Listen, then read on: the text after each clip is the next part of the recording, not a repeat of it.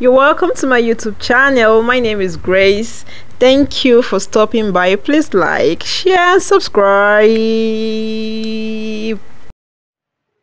Hello, friends.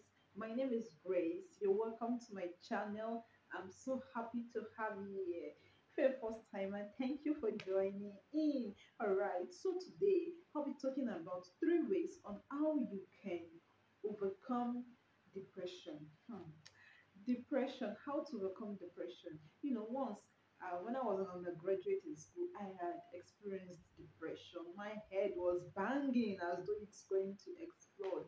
And i was like oh god what do i do? I looked at people around me who, who am i going to tell? You know i'll be sharing you three tips that helped me and i believe it will help you you know. Yeah so the first of all is seek help. Seek help. Look around you you have um, family members, siblings you can talk to, or you'd like to seek professional help? You know, people whose job is to help you out of that situation. Whichever you can afford, whichever is okay for you, please do. You know, just talk to someone, all the bodies, everything within you. Look for someone to tell so that they can help you to get out of that state.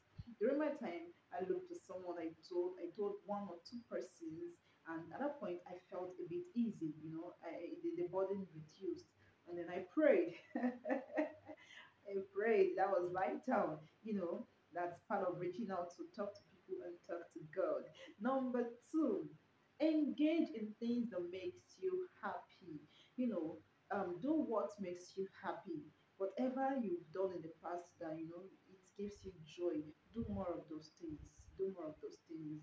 Do uh, you know engage in exercise so that you know the hormones that needs to lighten your mood will be produced more. And then you can feel relaxed and be able to concentrate on important activities important things in your life.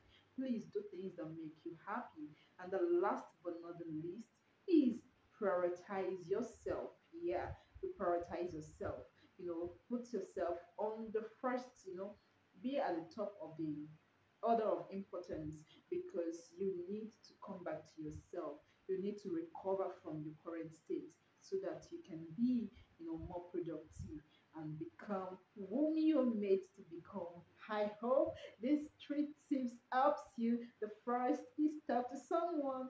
Second is you know engage in what you love doing exercise and everything that makes you happy. And third not the least is yeah, you get that right. Prioritize yourself. Thank you for watching. Please like, subscribe, you know, share